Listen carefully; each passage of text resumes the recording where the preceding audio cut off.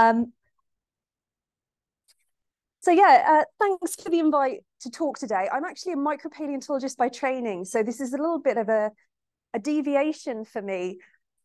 It all began really during COVID when opportunities to get into the lab and the field was much more challenging. We were pushed to create digital field trips, uh, develop digital skill sets that we had didn't have before in order to create digital field trips for our students at very short notice. And that sort of led to a number of sort of interesting collaborations with vertebrate paleontologists at the University of Birmingham, also other non-academic stakeholders, um, as well as our undergraduate student and a range of postdoctoral uh, researchers that really sort of got me interested in that bigger question of, you know, we were all contemplating during COVID, kind of, we wanted to get out, we were really appreciating those open spaces. It really sort of reignited my my love of UK geology and appreciation of sort of thinking about how we value paleontological heritage, how we should protect it, how we make it a sustainable resource. And so I'm going to be touching upon sort of relatively new research um, from the last few years around dinosaur track sites specifically, um, in this case for paleontology in the UK.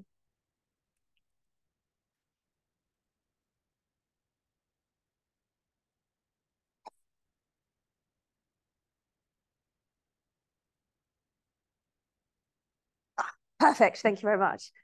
Okay, so dinosaurs, incredibly charismatic organisms.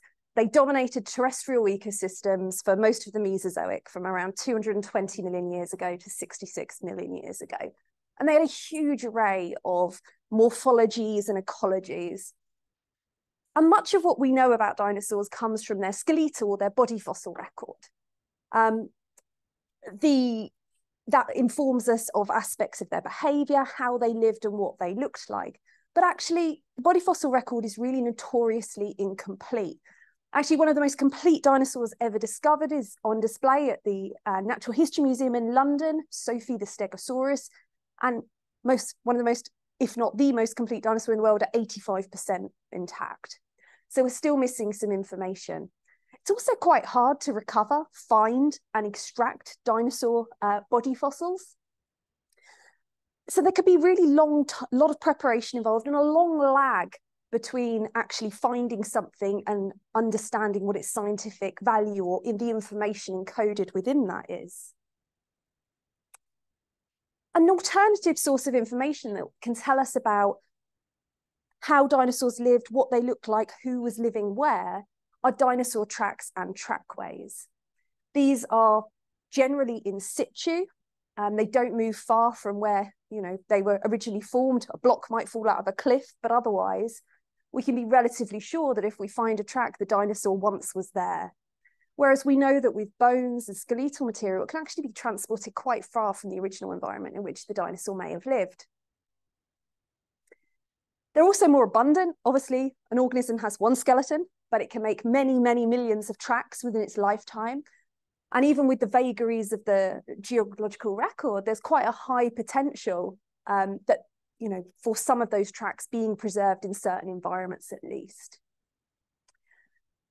And what we often find is that these tracks might be um, preserved in different areas to where we might find body fossils. And actually, because of different preservational biases operating, there might be in different stratigraphic horizons. So actually, they can help to fill gaps left by the uh, where we have gaps in our body fossil records. So together, the two can be uh, very powerful.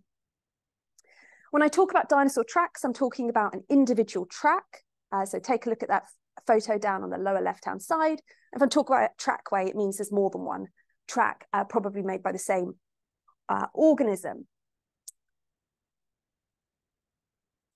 And in addition to telling us about when and where the organism was, we can also infer from the tracks themselves things, aspects of behavior, interactions between different groups of organisms, how they moved, um, aspects of life history, ecology, and anatomy. So lots of sort of heavily complementary information, some of which is not available from the body fossil record. There are some caveats to the track record, though. Um, if we look at the major groups of dinosaurs, which are outlined here, you can see that these groups often have different types of tracks, but actually within each of these groups, we really can't get beyond these very broad taxonomic groups. So for example, theropods, you know, most well known perhaps for the carnivorous um, bipedal forms, so things like a T-Rex or a, a Megalosaurus if you're in the UK. So these three-toed distinctive uh, tracks. We've got the ornithopods, also tridactyl, can be, they're bipedal, but can sometimes operate um, on four legs. So the ornithopods you might be familiar with, something like an iguanodon. We've got sauropods, so these long-necked, long-tailed, relatively small-headed dinosaur group. They're also, they're non-tridactyl, so not three-toed uh, tracks, uh, quadrupedal, leave distinctive traces in the fossil record. And then we can broadly group a fourth major group that we can identify known as the thyreophorans. So these are typically our armored dinosaurs, things like your stegosaurs, your ankylosaurs and your ceratopsians. So we can get they, there's enough distinction between tracks to distinguish these broad taxonomic groups, but we're really quite difficult to go below this to identify individual species from their tracks alone, in large part because the anatomy of the foot's quite similar within those groups. But also with the vagaries of the, again, the geological record, it can create some uncertainty in making very precise assignments at that level.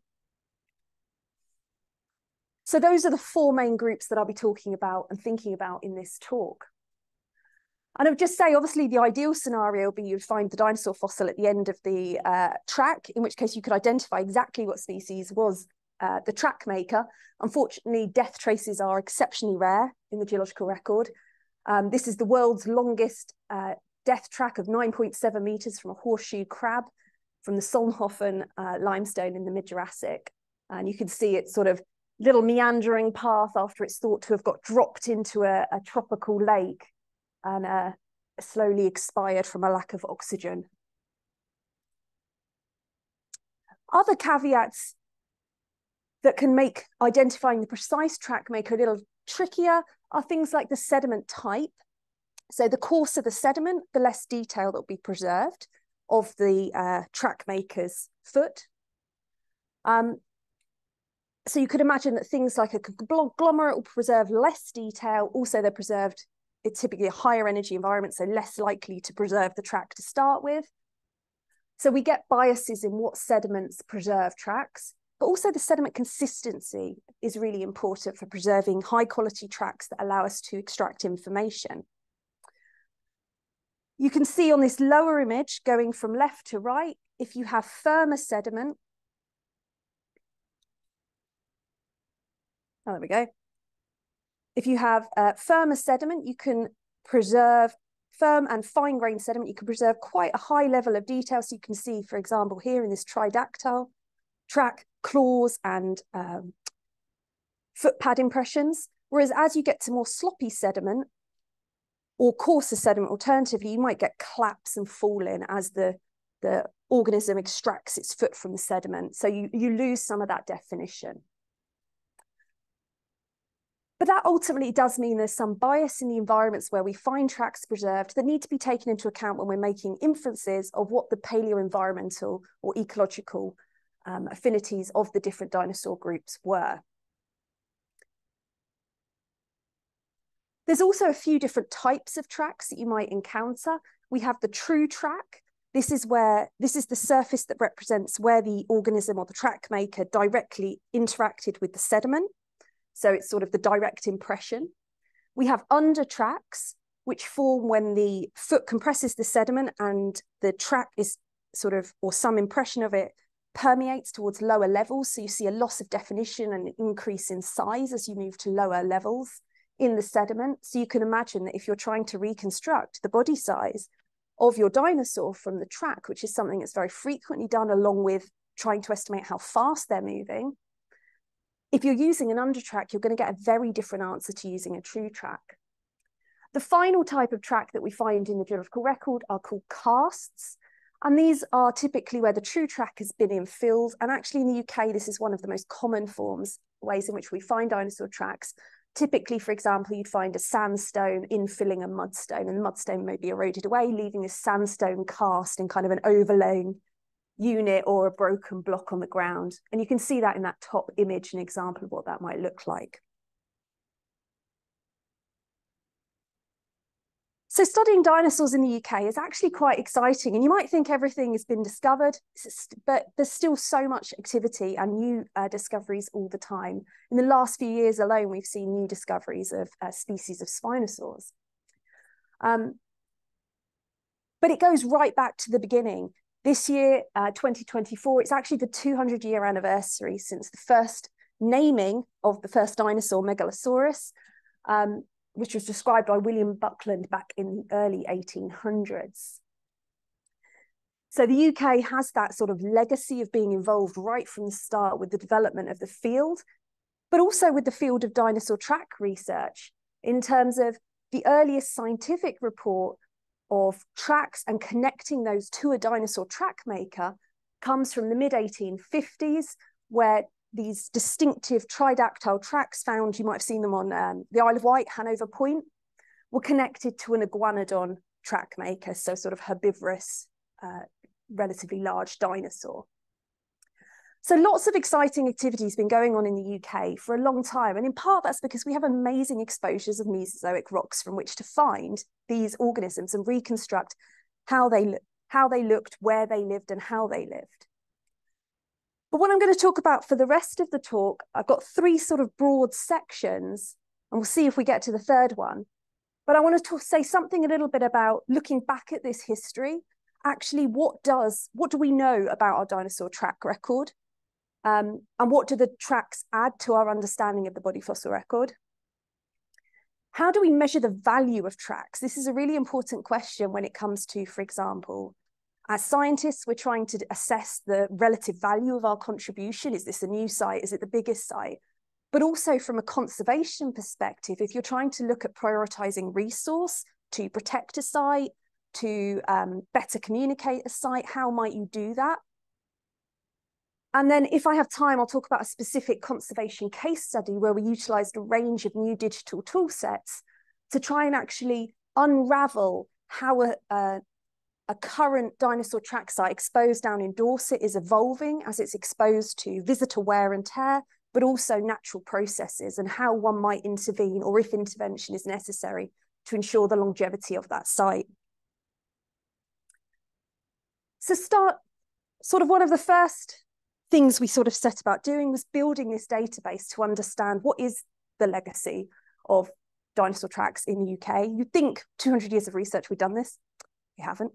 Um, so the map on the left-hand side here shows the outcrop of Triassic, Jurassic and Cretaceous rocks within the UK. And the dots on there represent individual or unique track occurrences. So we've got more than 250 unique occurrences. That's where we have a distinctive dinosaur track maker, so a sauropod, a theropod, ornithopod, um, or one of the armored dinosaur groups, at a single location. So many locations will yield many of the same tracks. We only count them once because we want to know about unique occurrences. If you look at that distribution and follow down the pie charts on the right-hand side, you can see that the vast majority of tracks are found in England, with uh, far fewer in uh, Isle of Skye and down in South Wales. And that really sort of maps to where we find those rock exposures. Similar to where we find the rock exposures, both through inland working and quarrying, but also uh, the coastal exposure availability, we predominantly see uh, Cretaceous track occurrences being reported with uh, then Jurassic and Triassic being much uh, rarer. And the majority of the occurrences are reported from coastal settings. There's constant erosion, new material being eroded. People walk along the beach. You will have seen in the last few years, there have been a number of really big um, sort of news stories of children discovering large um, tridactyl prints on the, the beach in South Wales, for instance, and up in North Yorkshire. A lot less is discovered through quarrying today than it was perhaps historically, but there is uh, still a small role for that. So we predominantly find tracks in uh, sandstone. As I said, this is the dominant um, lithology is fluvial environments. You've got wet, you're predominantly going to be preserving tracks where you have sort of some kind of moisture in the sediment. So, you know, river edges, um, coastal environments, edges of lakes, those kind of environments. So sandstones followed by limestones are the dominant lithologies with very little in uh, mudstones because it erodes away and conglomerates because of that high energy and uh, difficult um, coarse grain size, also making it difficult to preserve tracks. And just showing the breakdown of the environments where we find them, you can see that the yellow parts of the pie are much bigger. So again, that fluvial and coastal environments are the dominant, which maps to where the types of lithologies that we're finding them in. So tracks are most commonly found in Cretaceous fluvial sandstones exposed on the coast. As a very broad brush summary. Um, in terms of what the tracks actually look like, we can break them very broadly into two groups the tridactyl tracks, so the three-toed tracks, which comprise the, the theropods and the ornithopod groups. And those are shown in yellow and comprise more than uh, three quarters of the reports that we have. And then a quarter of the reports are for the non-tridactyl, so sauropods and armored dinosaur groups. And there is a question of whether or not there, there is some bias operating here because fundamentally it's a lot easier to identify uh, something like this that looks very distinctly like a foot. And indeed, the earliest reports we have from the 19th century, and really up until uh, very recently, were of tridactyl tracks, compared to, say, a sauropod track, where if you just had a single track, you could easily you know think it was just a hole in the rock an erosive feature and it's perhaps only when you start to get these chains of or large trackways that you recognize it as something different so we actually in the UK have only been recognizing that we have sauropod and armored dinosaur trackways since really the late 90s. So it's quite new. And for those that are very keen on their dinosaurs, you can break that down further. And it just shows that um, ornithopods, so in that bright blue color, comprise about 40% of our records, um, followed by theropods, uh, with much smaller numbers of the non-tridactyl organisms. Another way of looking at this data is thinking about how the track record goes through time. So this is the number of track occurrences. So on the y-axis versus time going from the Triassic on the left to the Cretaceous on the right. And each of the different colors represents a different dinosaur group. And you don't have to worry too much about the detail here. The main thing I just want you to see is that if you actually look at it through time, you can see it's quite discontinuous, the UK record of tracks. Um, and then the second feature is that we see a switch from that green yellow color to that bright blue color. So we see a fundamental switch from sauropod dominated communities to um, ornithopod dominated communities as we move from the Triassic into the lower Cretaceous. And throughout the armored dinosaurs, that sort of as the dark blue you can barely see, exceptionally rare. In the next panel down, panel B, we have the body fossil record. Oh, so got it? Yeah. The body fossil record up here. And you can see it's much more continuous overall, but it also shows that switch from the green to the blue color as you move from the Triassic into the Cretaceous implying that we're seeing this sort of real switch in the dinosaur communities recorded in both. So the tracks are giving us, despite all the biases operating and the different biases operating on the, the track versus the body fossil records, they're giving us a relatively consistent pattern of change. And you also see that the most occurrences occur in the early Cretaceous for both records as well. If we overlay the body fossil record in the blue in this lower panel C with the um, track track record, which is in the orange, it just highlights that sort of that relative similarity of pattern, but the dis the difference in um, their distribution. And if you compare that to the availability of terrestrial rocks, with the green showing where we have lots of terrestrial rocks, as you would expect, we find tracks where we have terrestrial rocks. You're not going to find dinosaurs wading through the water. Um, we do find body fossil records more continuously, despite the fact that we have marine rocks interspersed. because of course they can be swept out to sea. So we can find um, a record, a limited body fossil record during marine uh, intervals. So this is the last figure on this particular aspect, just to another way of looking at this with time, this time on the y-axis, going from Triassic at the lower part of the figure up to the Cretaceous in the top. And the main thing I wanted to show here was that if we, I've shown you a comparison between the, the body fossil and the track record in terms of the pattern. But if you take a closer look at this, and for each of these groups, so for example, if we take the sauropodomorphs, you've got two columns here. The column on the left shows the distribution of tracks through time that tell us uh, when the dinosaurs were there.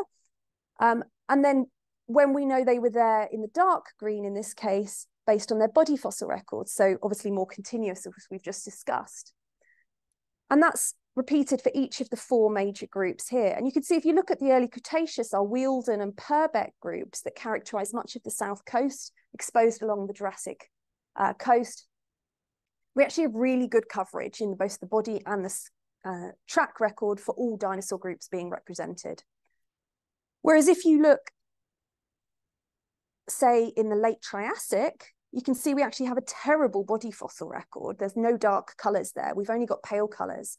So the only record we really have of dinosaurs in that very early interval for them when they're evolving is from the track record. Um, but we also find that in discrete intervals, such as in this case, this lower unit is a the Ravenscar from the mid-Jurassic. It didn't quite fit because it was a time equivalent unit, so I've put it isolated here. You can see there are gaps again in the body fossil record, in this case in the yellow and the blue, where the tracks tell us that we had a diverse community with all four groups being represented, but actually the body fossil record only provides evidence of two, two of those groups. So just to say, used together, these records can be hugely complementary. Tracks often take a backseat to the body fossil record.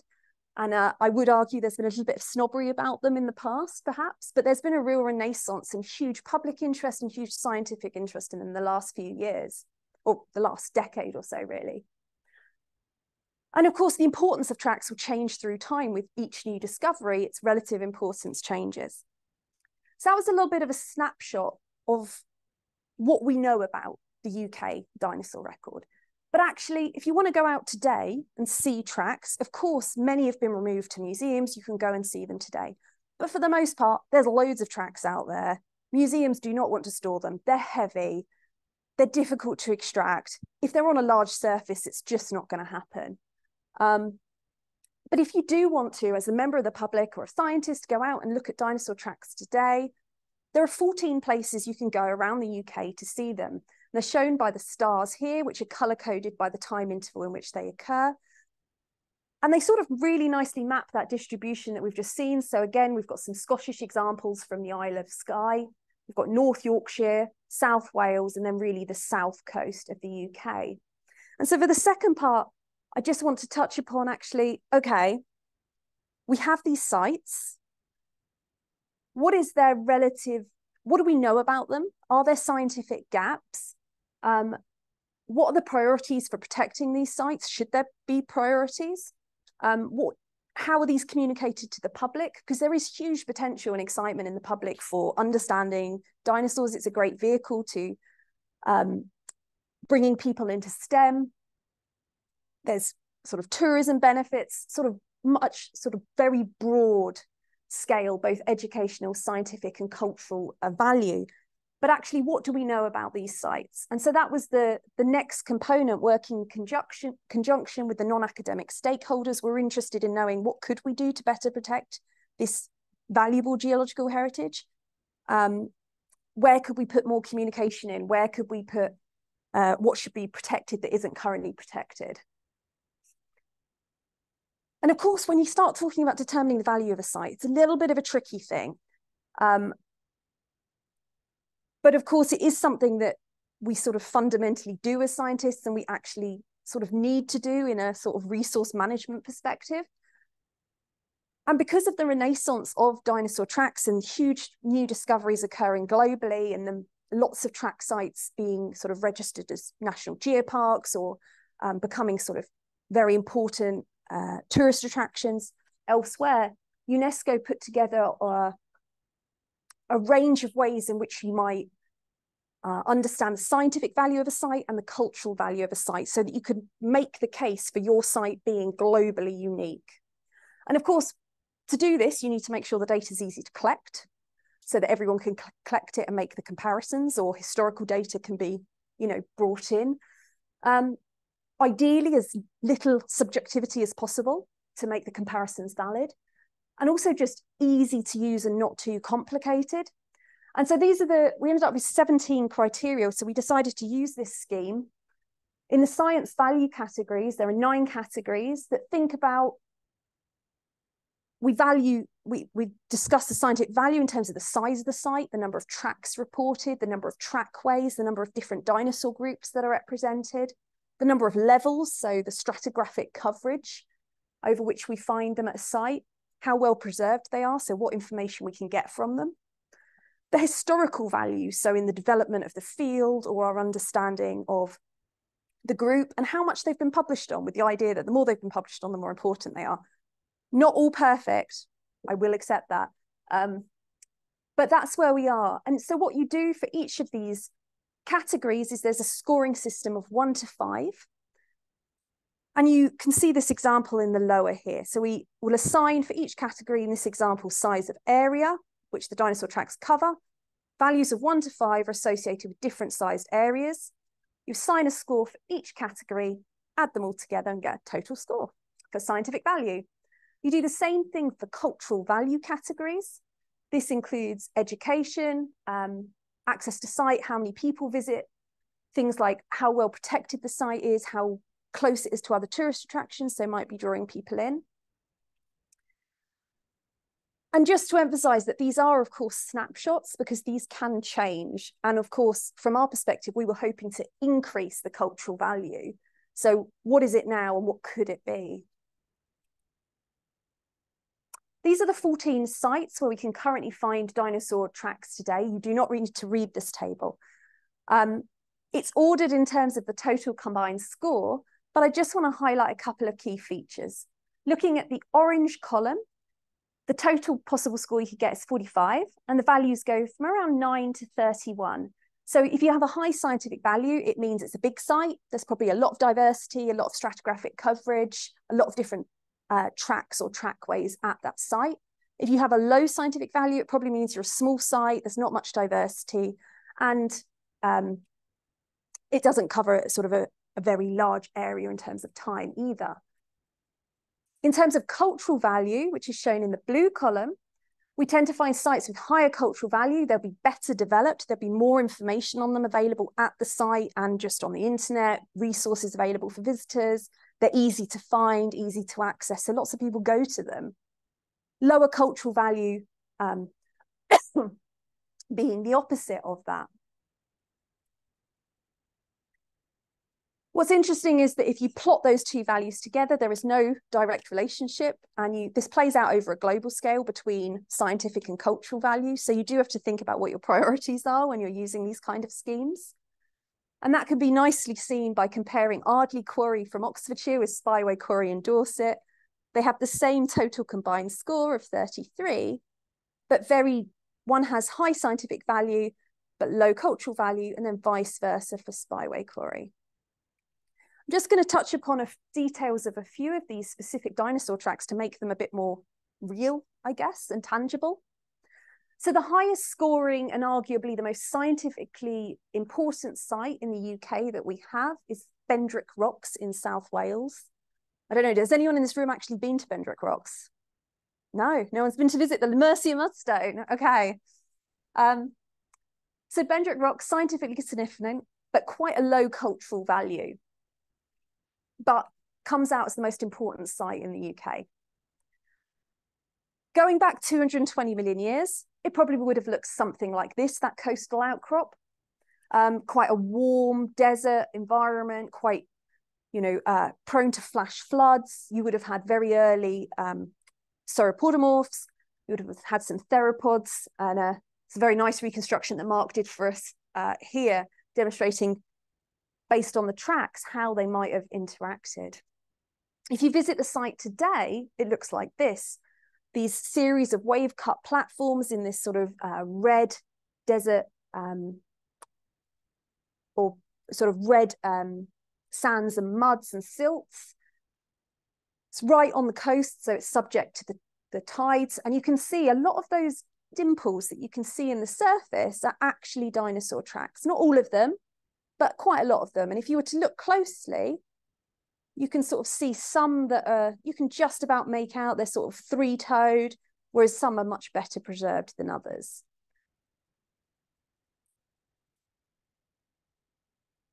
So if you were to go, you park in the industrial state behind this, you walk onto the beach, it's used by dog walkers, geological groups. Um, you can access some information through geological speciality groups online. It's just starting to feed through into some of the tourist sites, but there's no information when you arrive at the site. In fact, most people that are there have no idea what they're looking at are dinosaur tracks. So actually, whilst it's accessible in some senses, because you can just walk onto the beach and just literally walk across and see things, there's no information or way of interacting or engaging with the audience. So they're not able to fully appreciate the site. There are aspects, if you were thinking about developing sites, of course, about safety relative to, you know, tides, seaweed covering, and things like that. Um, it is a triple SI because of the outcrop of um, uh, the the rock outcrop as an exa- a good example of the sequence.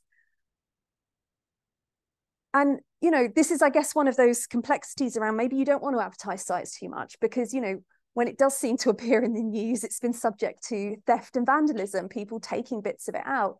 And actually, more than 600 tracks have been reported here um, as of 1997. Actually, the best tracks have been removed and taken to the Cardiff Museum. So what you see is sort of left behind. But as I said, the sea constantly is eroding new surfaces. And nobody's evaluated this site since the 1990s. So this is where there's sort of the way in which we looked at, assessed, monitored sites has changed so much what we can do that actually there's a real opportunity to go back and do some work at this site, which we'll be doing in the new year.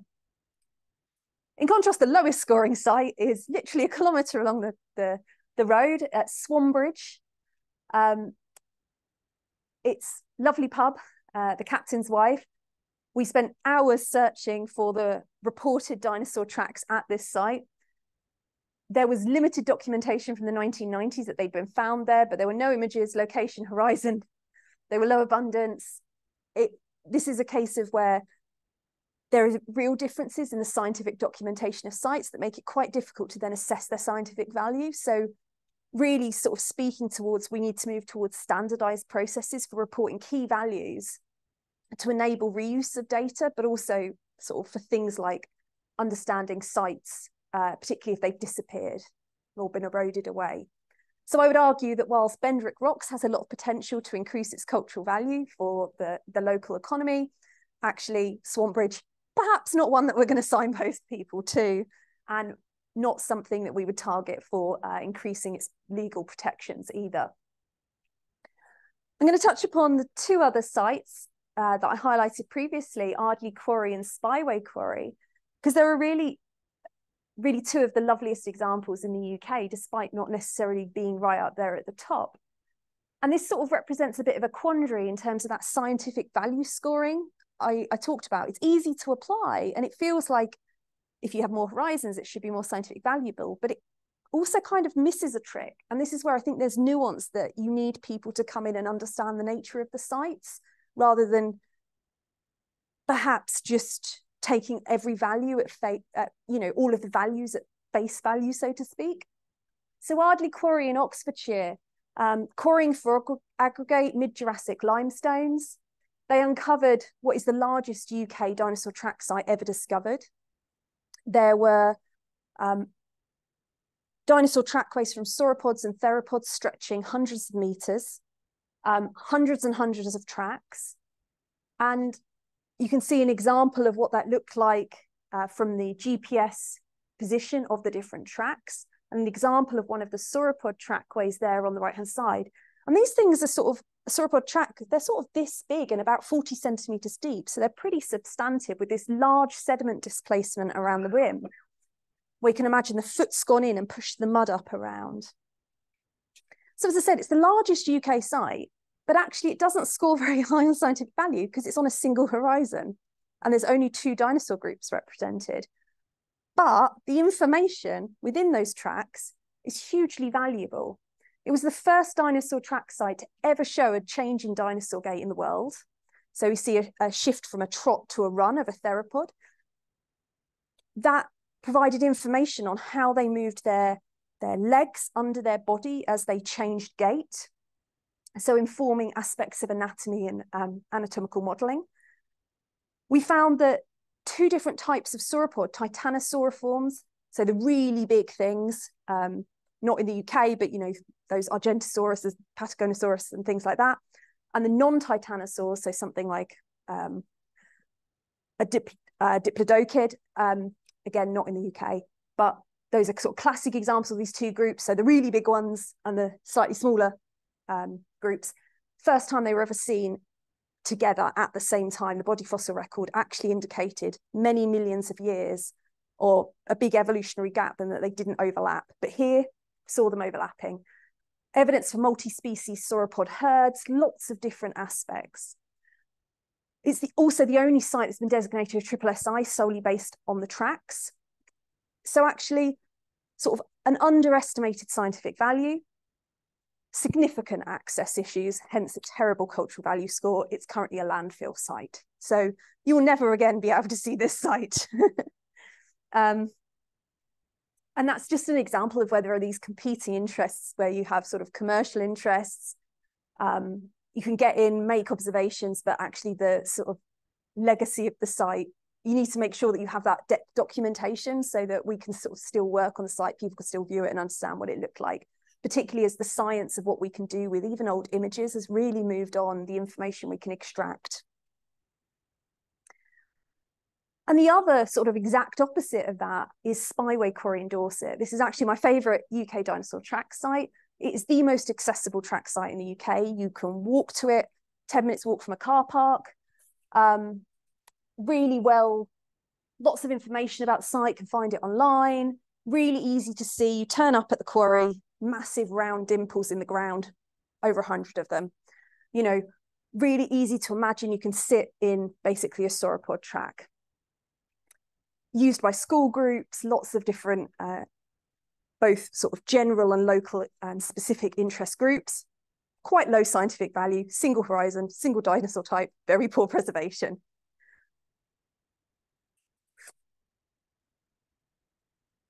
And so I think just to sort of bring that section to an end, just to say that actually, you know, assessing value is difficult. We do have to be careful when we're giving information to non-academic stakeholders to implement actions that we actually sort of provide the nuance as well. That there is potential in the UK certainly to develop a number of sites that are still in existence to increase their value where that's not going to endanger the site itself, which is I guess as an academic, that's been a real learning curve, trying to get that balance between, I feel like everyone should be really excited about dinosaurs and we should be doing everything we can to communicate it, but actually there are tensions there. And then where we have gaps in how those classic sites that we need to go and fill those scientific documentation gaps before the sites are lost to the sea. So really emphasising that we need standard community protocols put in place by non-academic stakeholder bodies that manage our heritage to make sure that for conservation and monitoring, we're collecting the same type of data and particularly useful data. Um, and nowadays that's 3D documentation of sites. It's easy to do, you can do it on your phone and it just provides a long-term legacy that we can utilise in lots of different ways. I've got about five minutes left, so I'm going to just very briefly say something about my favourite site, Spyway Quarry. This is a very specific case study that speaks to understanding the value of the site and how we try to disentangle how we could better preserve the site against the natural weathering and the human-based tensions. So Spyway Quarry is found down in Dorset, uh, near Corfe Castle. It It was discovered in 1997 by quarrymen. Um, they recognised what it was. The land was owned by the National Trust, so they told the National Trust what they found because they were just obviously um, taking out the limestone for building. National Trust did a report. It never sort of really got out into the wider literature, but the decision was that the site should be preserved and eventually access restored for the public good. It was uh, covered up while quarrying continued in the local area, and it stayed that way for well over 10, 15 years. And then in 2014, it was uncovered. This is a site around, I don't know, 200 square meters. It was uncovered for the first time with the help of a number of volunteers, ready to open it to the public. And a 3D model was created of the site at that time and made freely available online. And then in 2016, it was open to the public. You could walk over the surface, you know, anytime, anywhere. This is what it looks like if you go today. You can see the information plaque where there's the black arrow, and it's this curved surface with these large sort of depressions, round shaped depressions that here are filled with water, and this really prominent crisscrossing fractures across the surface, which creates problems. So this is a close-up of what the tracks at the site look like. You can see these distinctive circular depressions characteristic of these large sauropods moving across what once was a shelly beach, uh, a tropical climate.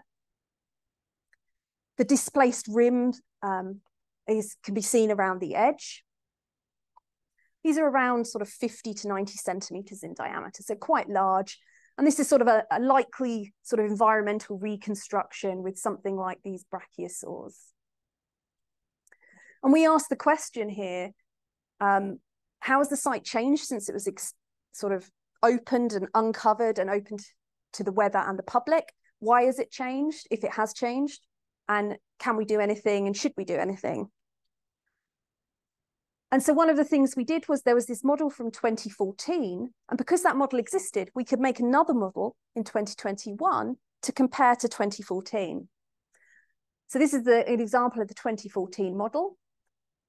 We made a 2021 model, which is that top. And in this case, we've drawn over identifying where the tracks in each of those reconstructions are, what the outline of those are. You can compile those two to create an integrated schematic sitemap that tells you how many tracks there are at the site and enables you to develop, um, see how the margins have changed and what's identifiable today versus in the past and vice versa. So for example, if things are covered by vegetation, they've weathered away. And because we built 3D models, this takes a few hours. You take about 1500 photos. You get not just the X and Y dimensions, you get the depth dimensions. So in these lower panels that are highly colored, you can see the yellow dots in the middle represent where those tracks are. So we get some more information. One of the aspects of this site when it was initially uncovered was to manage visitor numbers, make it freely available to manage visitor numbers though, by not advertising hugely to start with. So we wanted to understand how many people are actually using it, which is something we didn't know. Um, we've installed visitor counters at the site. We looked at Google Analytics and a variety of different sort of online resources where people record visits. We found the site was visited by about 10,000 visitors a year. So you sort of think about UK um, tourism and sort of potential for bringing people in. Obviously, weekends and holidays were most popular, and people spent on average about 20 minutes at the site. We installed cameras to understand where people moved on the surface to see if that coincided with where, for example, we might see more damage on the tracks. And this is a heat map with yellow meaning people go there a lot, purple meaning they don't go there quite so much. And you can see that where this is overlaid on a, the photogrammetric model of the quarry, and you can see that where those yellow hotspots are, down in the bottom left-hand corner, that's where the information panel is. So great, everyone goes to the information panel. But they also tend to go then just to the big clusters of big obvious tracks. They don't tend to wander around the surface much. Which makes sense. If you don't really know what you're looking for, you're going to go for the big obvious things. We looked at how the fractures were distributed across the surface because the whole surface is covered and it's leading to you know, you can you can see obvious damage occurring along those fractures. Um, this is a heat map of the fracture damage with dark colors meaning more damage, lighter colors meaning less damage. And if we overlay the two photogrammetric models, we can figure out the difference between the two in a quantitative sense. This is the same track from 2021 versus 2014. And in this 2014 one, the red color indicates where material has been lost since 2021 and the blue where it's addition. And you can see material has been lost along the fractures that permeate the whole surface in the tracks and around the edges of the tracks. Uh, the addition of material was in the cracks where rubble's been moved around through time. Uh, and this is the scale bar, that big blue blob. If you play that out across the whole surface, you can see there's a lot of red and a lot of blue. Stuff's moving around. It's on the fractures and it's around the edges of the tracks. All tracks have shown damage since 2014 when the site was first opened to the public and the weather. And the ultimate impact of that is tracks are just becoming less distinct. Um, and eventually the site will sort of become uh, less, it will become more and more difficult to identify tracks over the next sort of coming decade or so. And by putting all that information together, we were able to assess that actually whilst visitors will obviously contribute towards that damage of the surface, actually it's natural processes that are really causing this destruction. Um, in that fracture network in particular, we have vegetation in there, we have freeze thaw process leading to widening of the cracks. You can also see in this example really distinctive um, materials broken away here at the edges from the fracture and into the track. So it's defoliating the surface along these fractures. The, fra the tracks fill with water. Um, rainwater is slightly acidic, so it's eroding internal features. It's a slope, water, abrasion of dust, rocks that come off the rock quarry surface, they're all moving down and just damaging the surface. So natural processes, sort of the most um, the most prevalent cause of change at that particular site. It is a shame, and the site is changing and it will eventually disappear. Coring is continuing in the area, so there is the possibility of discovering new sites that could be isolated. Um, if we're realistic and looking globally, the only way to protect these sites long term is to cover them with a big uh, atmospheric controlled dome. That is very, very expensive, uh, has been discussed. It's just not possible in terms of resources.